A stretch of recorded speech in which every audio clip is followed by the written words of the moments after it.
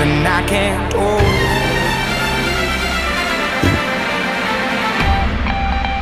Oh wait.